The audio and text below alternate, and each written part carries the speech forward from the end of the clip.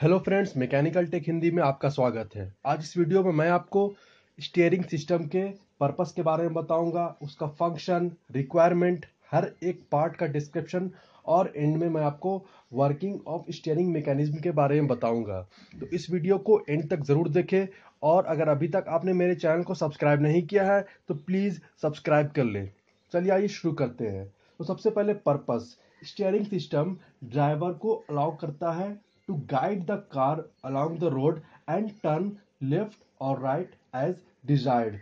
अब steering system में three basic जो मेन कंपोनेंट्स होते हैं। सबसे पहले होता है steering wheel steering gear and steering linkages तो जो स्टीयरिंग व्हील होता है, वो ड्राइवर कंट्रोल करता है। स्टीयरिंग गियर जो गियर बॉक्स में होता है, जो कि जो कि चेंज करता है rotary motion of the wheel into straight line motion में।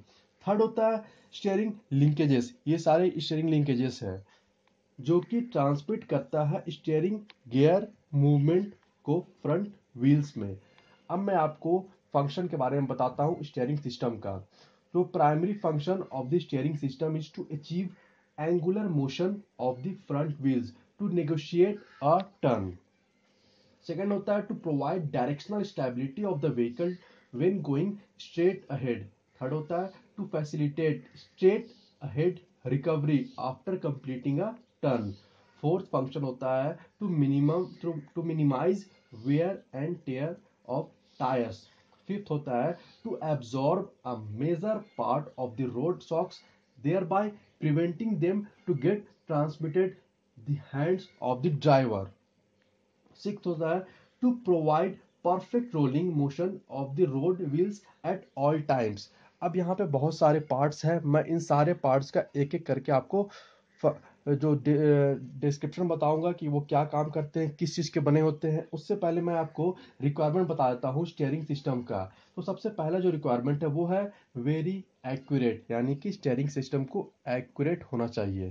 जो सेकंड है वो है इजी टू हैंडल आसानी से हम उसे टर्न कर सके देन स्ट्रेट लाइन में आसानी से चला सके। थर्ड होता है प्रोवाइड डायरेक्शनल स्टेबिलिटी इसका मतलब ये हुआ कि हमें जितना लेफ़्ट टर्न चाहिए या राइट टर्न चाहिए, वो आसानी से हमें अचीव हो सके। फोर्थ होता है multiply the turning effort applied on the steering wheel by the driver और फिफ्थ होता है irreversible to a certain degree so that the shocks of the road surface encountered by the wheels are not transmitted to driver's hands अब चलिए मैं आपको जो steering system के parts हैं, उसका डिस्क्रिप्शन बताता हूँ। तो सबसे पहले होता है स्टेयरिंग व्हील ये स्टील का बना होता है एंड वेल्डेड होता है ऑन अ हब ये रहा वो hub with the help of two three और four spokes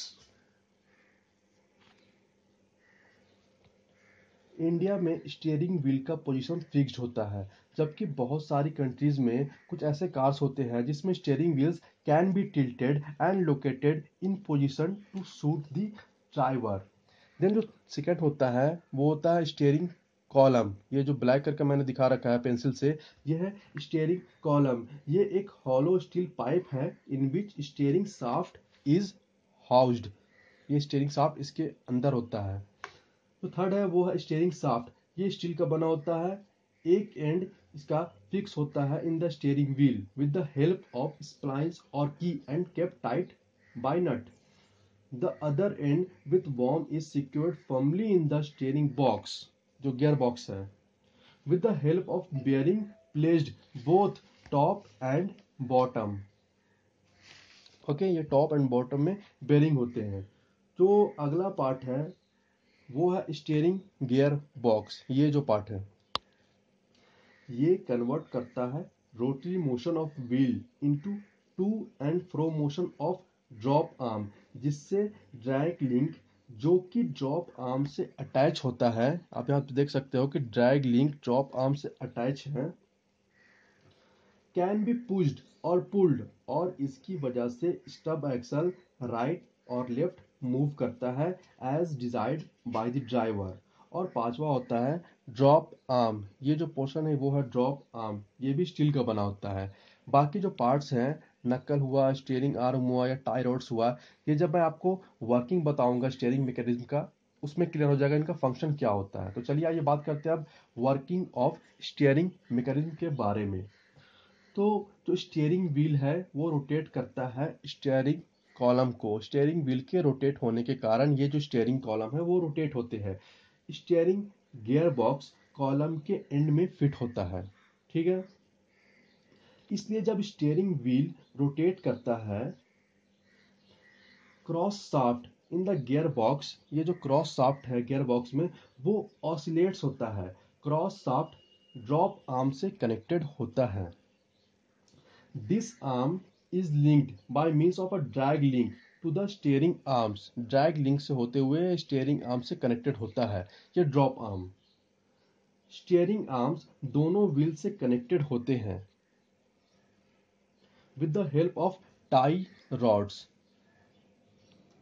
when the steering wheel is operated the knuckle moves to and to and fro moving okay. Tie rods ये जो tie rods है and जो steering knuckle है, ये इन दोनों के and आपस में कनेक्टेड होते हैं।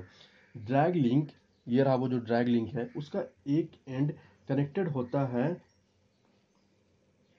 टायरॉड से। आप यहाँ पे देख सकते हो टायरॉड से कनेक्टेड ड्रैग लिंक का एक एंड और दूसरा एंड कनेक्टेड होता है इस टायरॉड से। तो ये दोनों आपस में कनेक्टेड होते हैं। A ball and a socket joint gives the required movement to the joints between the tie rod, drag link and drop arm. When the vehicle is moving, the drop arm develops vibration. तो जब vehicle move करता है तो drop arm में vibration होते हैं तो shock springs are used in ball and socket system to absorb this vibration तो फ्रेंड्स आज इस वीडियो में मैंने आपको स्टीयरिंग सिस्टम का मैकेनिज्म के बारे में बताओ वो किस तरह से काम करता है, ये बताया, हर एक पार्ट का डिस्क्रिप्शन बताया है। तो आई होप ये वीडियो आपको पसंद आया होगा। प्लीज़ लाइक करें शेयर करें कमेंट करें। एंड अगर अभी तक आपने मेरे चैनल को सब्सक्राइब नहीं किया है तो प्लीज़ सब्सक्राइब कर ले, क्योंकि इस तरह के अलग अलग टॉपिक्स पर मैं वीडियोज़ अपलोड करते रहता हूँ। Thank you good bye